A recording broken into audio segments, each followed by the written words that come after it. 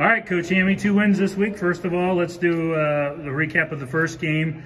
I'll tell you what, uh, you go over to Galion and uh, the over in that game. 94 points, usually feeling pretty good, but when you give up 79, that just kind of gets you a little wound up, and that was just a crazy game of events, but Hudson Moore was phenomenal.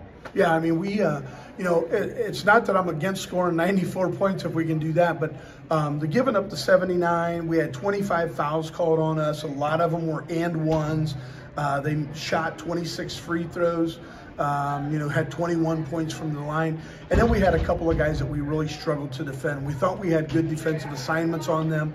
Um, you know, but we're going to grow from that. We were able to get away with the win, and we're going to grow from that, learn from it, and hopefully move on. And then tonight is senior night here, final time that your five seniors will be playing on this floor.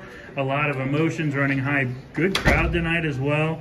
And just talk about the energy that your seniors gave you tonight. I don't think I could have uh, could have put together a better senior night for these five guys. You know, we were able to to build that lead. We got off to a really good start.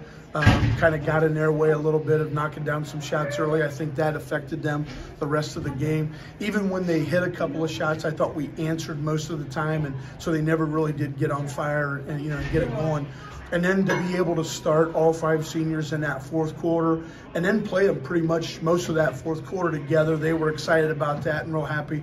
And then uh, to be able to sub all those guys out and get them a little bit of a, an applause, uh, I, I, don't think I could have put together a better plan. And I talked to all five of them, and Jax was just so fired up. I mean, the five points, that was a big moment for him coming off the bench, hitting that three there in the fourth quarter. What does he mean to you as a, as a player, coaching him? Oh, he's, I mean, he's ideal with, with the guys that we have you know, his his minutes aren't great all the time in, in the game, but you know, I keep reminding him of his value that he brings to us, not only in practice but his locker room. And I mean, he's just a great teammate to have. And like I said, it may not still show up on the stat sheet, but what he does for us everywhere else, he's just a great teammate to have. And and if he wasn't, you know, we wouldn't have kept him. And, and he knows that, um, and we appreciate him, and, and so do the other four guys that are out there with him. And then I got to end with Baden Forup and Hudson Moore. Hudson's been with you four years now, four year letterman, Baden three year. I mean, those guys really have grown and matured, and they have really blossomed into great leaders for you. Yeah, I mean, this is Hudson's, you know, fourth year, like you said. He was with me as a freshman.